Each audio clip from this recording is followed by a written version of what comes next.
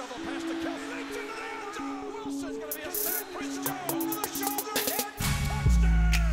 Kansas City. Guys, let's talk about some of the most memorable moments from Marcus Peters. Danny, let's start with you. What do you remember about Peters' season? Well, let's kind of go in chronological order. First of all, it was against the Patriots. They didn't even look at his side of the field. Tom Brady, the GOAT, the greatest of all time, did not even look in the direction of Marcus Peters throughout the entire first half. He kind of set the precedence for the rest of the season and how dominant he is as a defensive back. We conversate, we communicate, we go out there and have fun, man. Well, let's go. Let's take it, baby.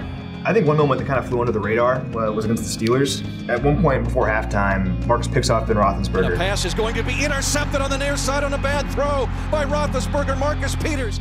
All the momentum was on the Steelers side, and someone needed to make a play, and Marcus stepped up and did that. And the Chiefs get their second turnover gain to the first half. Guys, guys, guys, we are missing the most obvious one, in my opinion. This one right here. There was so much going into that game against the Broncos at Arrowhead Stadium, and early in that game, Peters just ripping the ball out of Jamaal's hand and taking it the other way for a touchdown. It was like people didn't really know how to react. Again, goes the right side. Now ball comes off. The ball's ripped up. Picked up by Peters. Touchdown.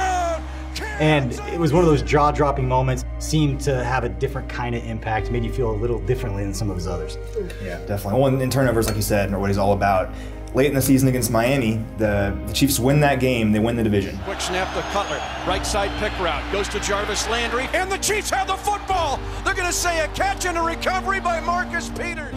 Recovers a fumble early in the game and forces another one later on. More takeaways than any corner in the league since he entered the league in 2005. We really saw what he was capable of and what he was made of when he came back after that one game suspension against the He's Chargers. throwing long. Down the near side of the field. The pass will be intercepted. Marcus Peters. Throw it in the right flat. It is caught. Another ball's out. Right side throw picked off at midfield and diving forward. It's Peters with his second pick of the night.